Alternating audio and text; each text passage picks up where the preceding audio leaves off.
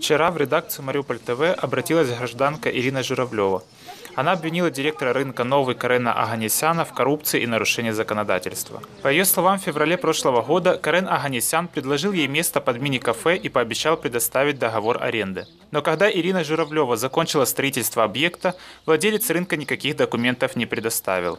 Я согласилась, начала стройку. Когда я стала требовать договор аренды, либо субаренды, как он пообещал, он стал кричать, что типа земля моя, ты не переживай, все нормально, все хорошо. Потом, когда я его опять же прошу, будь добр, пожалуйста, ну, документы, которые ты обещал, предоставь. Он говорит о том, что значит, то мне некогда, то уезжает, то еще какие-то вопросы там, ну, постоянно избегал этого В всего. итоге, как отметила потерпевшая, оказалось, что эта территория в 2016 году не принадлежала рынку «Новый», а позже Карен Аганесян оформил эту землю на свою супругу, после чего поменял на торговом объекте замки. Он оформил землю под себя, и получается, что дом, э, ну, строение капитальное, которое я выстроила, он сейчас говорит, что это уже его строение, оно принадлежит ему. При этом Ирина Журавлева не понимает, как Департамент земельных ресурсов Мариупольского городского совета мог дать Карену Аганесяну разрешение на данную землю. Человек не оформил документы, а уже начал строительство. Он уже провел практически весь рынок, выстроил, а потом только оформил документы. То есть, получается, здесь очень большая заинтересованность. Я так думаю, что в управлении земельных ресурсов, которые просто помогают Аганесяну.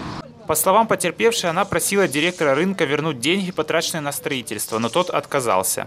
Позже она подала заявление в полицию, но правоохранительные органы бездействуют. По словам Карена Аганесяна, Ирина Журавлева была его соседкой и сама попросила помощи в поиске работы, и он предоставил ей участок на рынке.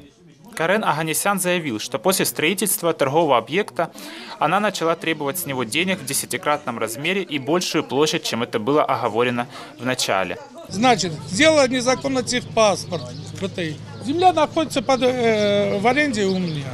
Я эту землю использую до сих пор. Э, не платит. Пришла ко мне, сказала, вот я поставила, ты долж- должен у меня купить на 5 д- дороже. Я говорю, я 5 дороже, ты пришла здесь заниматься предпринимательством или бизнесом заниматься? Ну, предпринимательством. Ты у меня купишь. Я у тебя не куплю на 10 дорого, вот я тебе жизнь испорчу.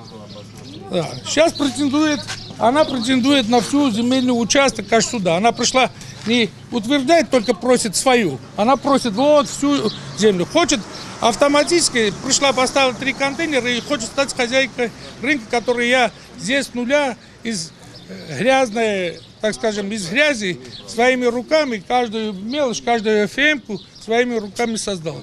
Специалист земельных отношений городского совета Ирина Сергеенко отметила, что на данный момент рынок оформлен на жену Карена Аганесяна. Территория, где расположен злополучный торговый объект, принадлежит рынку, а документы на участок у потерпевшей не оформлены. По словам Ирины Сергеенко, данный вопрос должен решаться в судебном порядке. На земельный участок у дают деньги.